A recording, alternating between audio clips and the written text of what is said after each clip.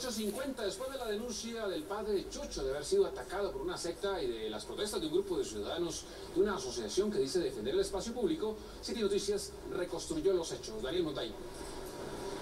Así es, Jonathan. Por una parte, el sacerdote dice que fue atacado por una secta de Goku y por el otro, los manifestantes piden el parque con uso público.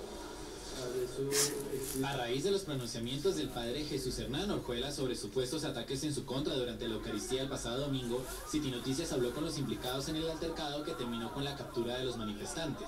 Desde muy temprano hasta muy tarde y es eso lleno, absolutamente lleno de comercio, eh, vendiendo cosas católicas y pues tras del hecho traen sillas y llenan todo eso. Si eres una persona que tienes hijos y quieres venir el domingo al parque con tus hijos, no vas a poder porque todo esto está ocupado. Fue a pedir la restitución del, del espacio público, ya que el padre sea dueño de él y que jamás vinimos nosotros a atacarlo. El padre mencionó que fueron enemigos de la iglesia los que se presentaron a atacar a los feligreses. Que son una secta, testigos de Goku.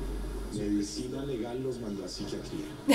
Desde este punto, los manifestantes solicitaban con pancarta la restitución del espacio público, aunque dicen que nunca se acercaron al padre, sí denuncian que fueron los feligreses los que los atacaron. Allá me retuvieron enfrente toda esa gente, me golpearon, me tiraron al piso y allá fue donde más me patearon eh, cuando me golpearon en la espalda. Y ahora está diciendo que somos de una secta, o sea, los mismos policías tienen y en los videos se ve que les decíamos a la gente, pero mire, aquí está lo que dice la alcaldía, mire lo que está diciendo y nosotros le respondíamos así.